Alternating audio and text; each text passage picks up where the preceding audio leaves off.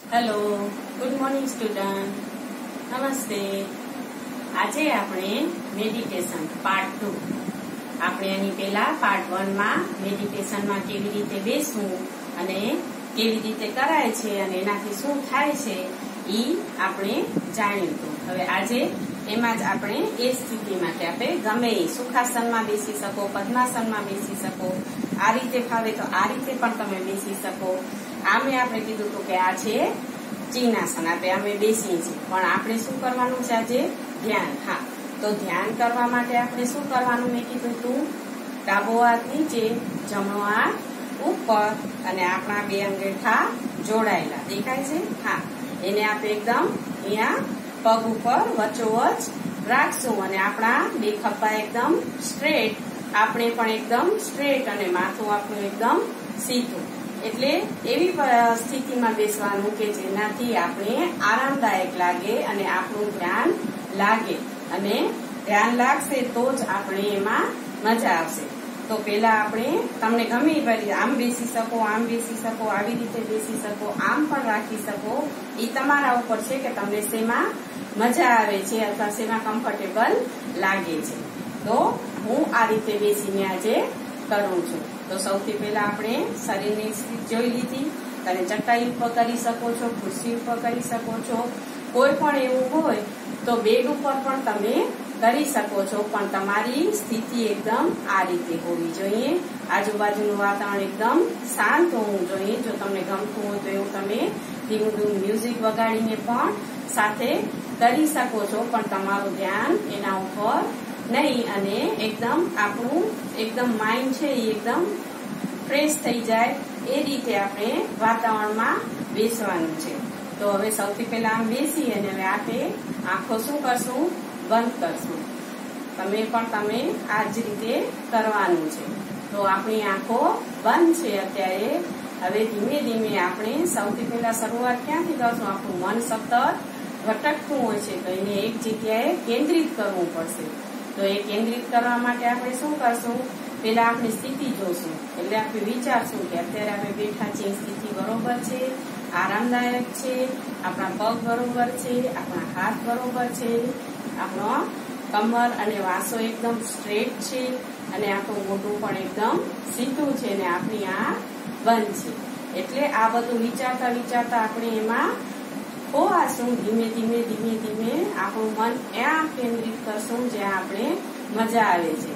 તમને કોઈ વાંચવામાં મજા આવતી હોય, કોઈ પાઠ યાદ આવતો હોય, કોઈ વાર્તા યાદ આવતી હોય, કોઈ કાર્ટૂન યાદ આવતું હોય, કોઈ મ્યુઝિક પિક્ચર એ તમારા ઉપર છે. કોઈ ભગવાનનું નામ યાદ આવતું હોય, કોઈ ભગવાન એવા તમને ગમતા હોય, મતલબ તમને ગમતી કોઈ પણ વસ્તુ કે વિષય હોય, તો એ એમે મગજમાં તમારે લેવાનું છે.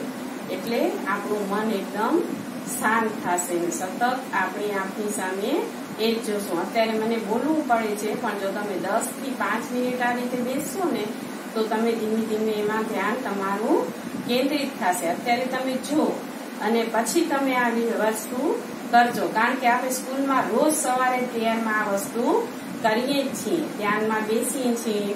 ઓમનો નાદ કરીએ છીએ. છેલ્લે કાંઈ ના આવે તો ઓમનો નાદ કરવાનો અને આ રીતે આ પરિસ્થિતિમાં પાંચ, સાત, દસ જેટલી તમે બેસી શકો એટલું કરવાનું, વિચારવાનું કે આજુબાજુ એકદમ શાંતિ છે, સરસ વાતાવરણ છે, તો આપણું મન એમાં કેન્દ્રિત થશે. ઊંડો શ્વાસ લેવાનો અને પછી એ છોડવાનું. મતલબ સામાન્ય જે રીતે આપણે લઈએ છીએ એ રીતે શ્વાસ લેવાનો અને છોડવાનું. તમે એમાં ધ્યાન દેશો ને તોય તમારું મન એમાં લાગશે. આ રીતે કેવી રીતે કરશું આપણે? દસ મિનિટ કરવાનું છે.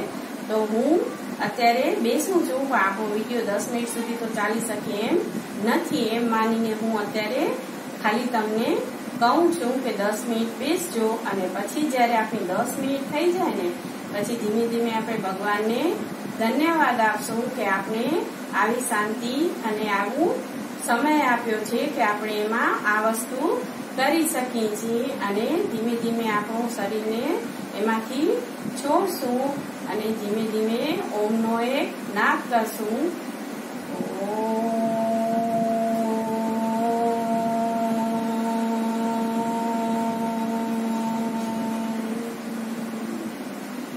પછી જેવી રીતે આપણે સ્કૂલમાં કરીએ છીએ, બે હાથને રબ કરશું એકદમ. જોરથી બે મિનિટ સુધી અને પછી એ આપણી સૌથી પહેલા ક્યાં લગાવીએ છીએ? હા, ક્યાં લગાવીએ છીએ? આપણા ફેસ ઉપર. એના ઉપર લગાવીને આખા શરીરમાં આ વસ્તુને ફેરવવાથી શરીરની આપણે ગરમી મળે છે અને આપણે સારું લાગે છે. અને પછી જ આપણી આંખો ખોલશું. તો ધીમે ધીમે આપણે આંખ ખોલશું અને પછી જોશું તો આપણા મન એકદમ રિલેક્સ લાગશે. આપણે એમ થશે કે ના, આપણું મન એકદમ ફ્રેશ થઈ ગયું છે માઇન્ડ એકદમ ફ્રેશ થઈ ગયું છે. તો આ ધ્યાનથી આપણે શું ફાયદા થાય છે? હા, એક તો એ જ કે આપણું ધ્યાન થાય છે એટલે આપણું મનને શાંતિ મળે. જો મન શાંત હોય ને તો આપણે બધી જગ્યાએ મજા આવે.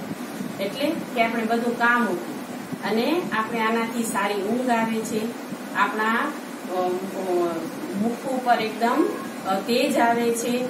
પછી બીજી વસ્તુ, ધ્યાન. હા, આપણું જ્ઞાન વધે છે આનાથી મનને શાંત થતા એની શક્તિ વધે છે. એટલે આપણે એમાં ધ્યાન એકત્રિત કરીએ કોઈ પણ વસ્તુમાં, તો આપણે તો ભણવામાં જ કરશું કારણ કે અત્યારે આપણે બીજું કોઈ કામ નથી. તો આપણી એ જેવી છે કે અત્યારે આપણું મન ચંચળ પણ આ વસ્તુ કરીએ ને, તો એનાથી શું થાય કે આપણું ધ્યાન એનામાં કેન્દ્રિત થાય અને આપણે વાંચવાની મજા આવે, આપણો આત્મવિશ્વાસ વધવાથી આપણે પરીક્ષામાં પણ સારા માર્ક્સ આવે.